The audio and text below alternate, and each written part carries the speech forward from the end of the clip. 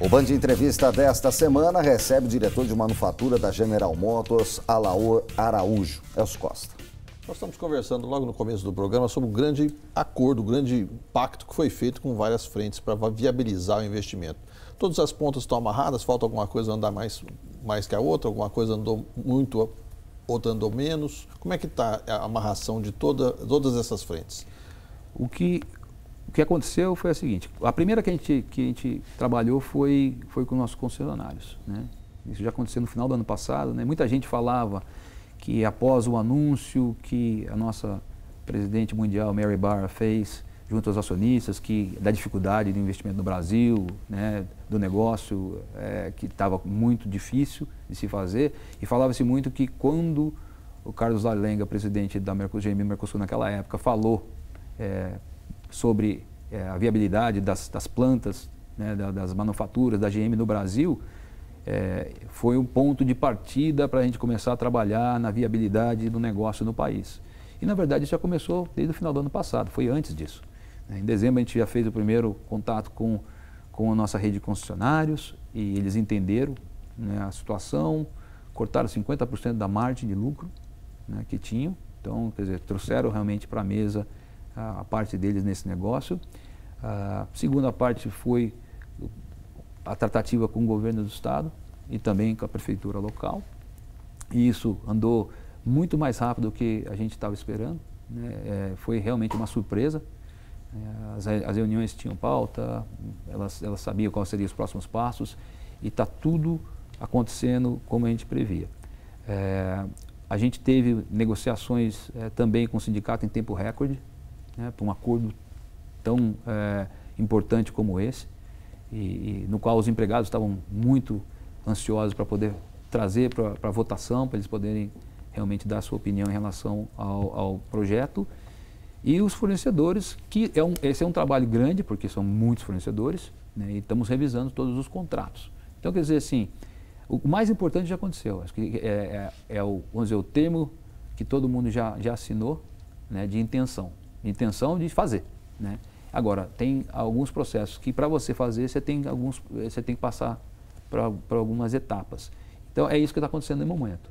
Mas a gente já está considerando como tudo aprovado, fizemos um anúncio, fizemos questão de fazer um anúncio é, no dia 19 né, do, do, mês passado, para poder realmente deixar claro que a gente... No é, Palácio dos Bandeirantes. Né? Bandeirantes, que a gente confia e tem um compromisso forte com o país para tirar de vez essa ideia do que a companhia tinha possibilidade de estar tá saindo do país. Né? Agora, historicamente, a GM começou com uma fábrica de motores né? É, em São José. O motor a combustão tem prazo de validade? Já se pensa no Brasil em veículos elétricos? Hoje, a, a maioria das indústrias ainda continua com motor de combustão interna. Né? Nossos produtos, até os mais novos que estão sendo lançados na nossa região, eles são produzidos na nossa região com motores de combustão interna com eficiência enorme, uh, emissões de gases muito baixas, né, bem controláveis, assim, são uh, motores ecológicos, vamos dizer, né, e, que, e que consomem muito pouco combustível, com tecnologias de turbo, esse tipo de coisa. O que está acontecendo uh, também, é, falando no caso da General Motors, é que nesse ano nós vamos lançar o nosso carro elétrico no Brasil, o Bolt.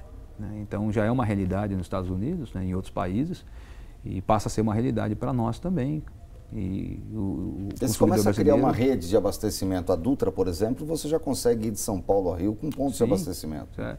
E, e, e, se você, você vai a São Paulo, você pode ir para São Paulo e retornar sem precisar abastecer né, um carro desse elétrico. Né? Ele já tem hoje uma autonomia muito grande. Né? Então, já está no 243 milhas, né? a gente tem nesse caso do Bolt. Então, quer dizer, é um carro que já entrega essa, é, essa facilidade para o cliente ele pode carregar uma vez por semana e usar o carro toda semana, como, se, como ele faz hoje com carro né, de, com, com, motor de combustão interna, ele pode fazer um abastecimento por semana e usar o carro durante a semana inteira para poder ir trabalhar. Isso carrega rapidamente? Carrega rapidamente, questão de algumas horas. Ou seja, então esse é um caminho que o setor automobilístico vai passar, o elétrico é um caminho sem volta? General Motors vai ser uma companhia de carros totalmente elétricos no futuro. Essa é a nossa visão de futuro. Né? Então a gente. Essa é a visão isso, de longo prazo. Essa é uma visão de longo prazo, uma visão global da GM. É, todos os nossos veículos vão ser elétricos. e, e também é, parte deles autônomos também. Né? É isso que eu ia, eu ia pular, né? Eu ia saltar exatamente. O carro elétrico é uma etapa que depois dele é o carro autônomo, sem motorista. Essa é uma realidade palpável que já está sendo estudada.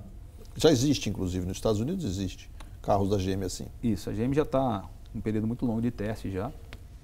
É, é o carro elétrico, que a gente chama que é o carro Bolt, que tem uma, ele tem uma tecnologia é, que nós chamamos internamente de Cruise Automation, que é uma, uma divisão da GM que trabalha nos veículos autônomos.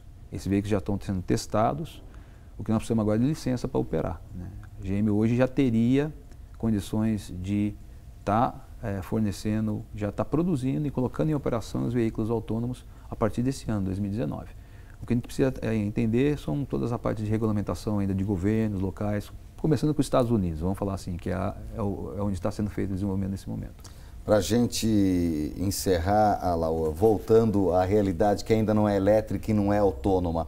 A GM de São José dos Campos já teve cerca de 20 mil trabalhadores entre diretos e indiretos, maior que muitas cidades, ou talvez que a maioria das cidades da região metropolitana do Vale Serra e Litoral.